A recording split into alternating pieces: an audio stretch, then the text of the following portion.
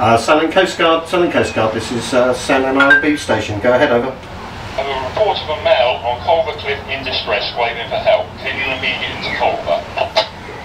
Yep, received Solent. We're uh, deploying the crew now. Over.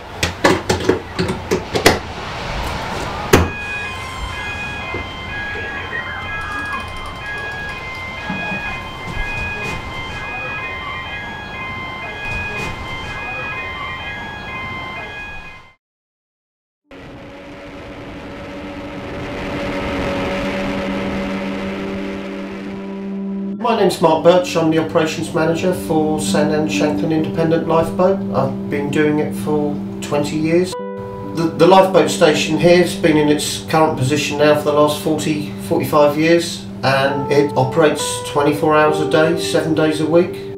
All the crew volunteer. They Not only do they volunteer as going out as crew, but they're volunteering, you know, raising money for the station. Got quite a few different trades that are, are here now and uh, they all put their little bit in and help. Our standard area of coverage is from Bembridge Ledge round to St Catherine's Point and we roughly cover 70 square nautical miles.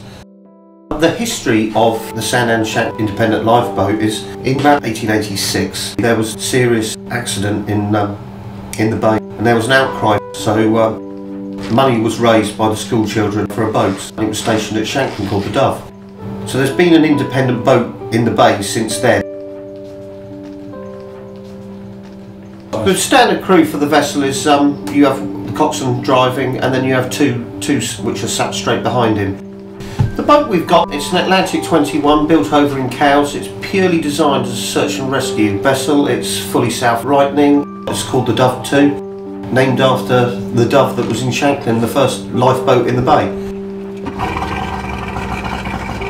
We're operated by the Coast Guard. They'll receive a 999 call or a Mayday message coming over the radio. They'll see that it's in our area. They'll know that we're available. They page us straight away. So, or if the Coast Guard know that we're on station, they will just phone us direct or put a message over the radio to for an immediate launch. The average launch time is somewhere around about seven minutes. People will be getting the boat out, tractor unit out, everything up and running. Some of the others will be getting changed straight away. So you've got one part of the team getting everything ready, one part of the team getting getting all the kit on, and meeting in the middle and going straight out to sea.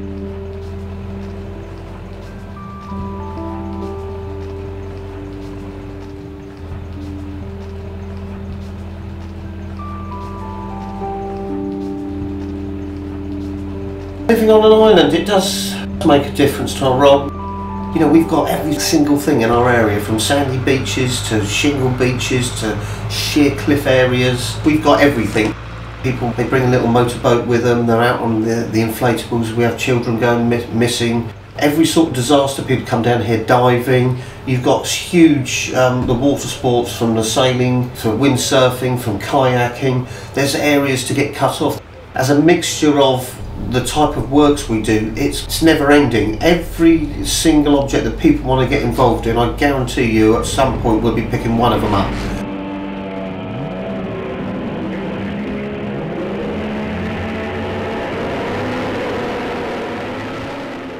The day-to-day training, you know, on a Wednesday night we're down here from seven o'clock onwards, and um, we'll brush up on different aspects of the work we do on the boat, like the knot tying. Right, the idea of this is so you improve your speeds on tying up, so when we're on a job you can do it pretty fast. All right, so I'll do a time thing, and then we'll see how you get on.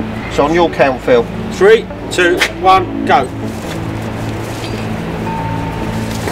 I've met some of the best friends in my life through this place, and um, it's quite nice now to sort of pass your knowledge on. You know, nothing's better than a bit of experience. It, it does good. You get to see some funny things and also the other things we get into is speed trialing stuff. So, you know, we'll have competitions that who can get into their, um, their all their, their safety gear, you know, the life jacket, the the dry suit and the crash helmet, you know, have record times and you know, that generates, you know, generates speed. So when you do get a call out, you know, everyone's up to full speed and to get launched as quickly as we can and get out there.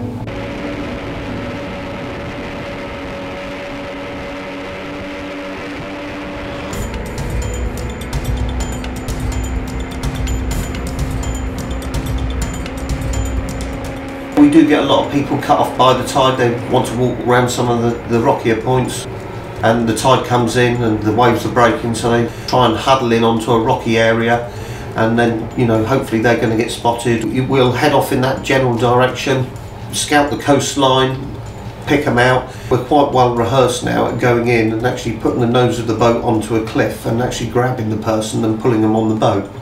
We then get out into a safe zone and um, check them over, put a life jacket on them and get them back to the station as quickly as we can, get them in the dry.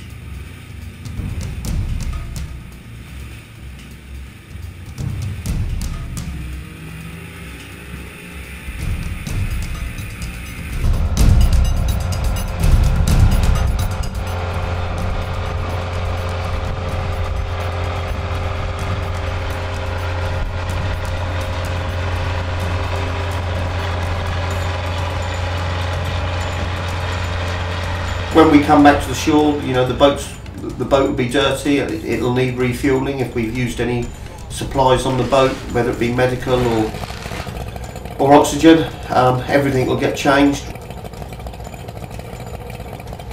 It gets fully washed down. At the moment, we've got a little bit of a waiting list on people wanting to join, which is you know, it's quite healthy. If somebody wants to be a crew member, they come and find us. We have a short chat with them. I'll sit them down, go through, you know, how we operate. Having to know a lot about the sea doesn't necessarily mean that you'll get in.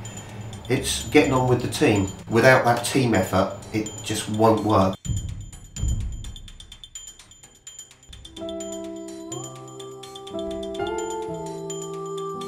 The lifeboat is funded by what we raise locally our operating costs are somewhere between 17,500 18,000 a year. With that, some of the kit is being replaced and ongoing training with the crew, the, all the, the kit they wear from the life jackets to the, the dry suits to the undersuits, the crash helmet. There's quite a few businesses that will arrange charity events. We've got a lovely fundraising team now that are out there um, tackling some of these events. We average somewhere between 38 to 40 call-outs a, a year with very good value for money for what we can produce. I do get a lot of pleasure out of being part of the Sandown Lifeboat team. The role is dominantly to go out and save lives at sea and prevent accidents. I've seen some very sad things, I've also seen a lot more happier things and uh, I've met a great bunch of people. I've done just over 20 years now and uh, I'm not quite ready yet to go and hang my life jacket up.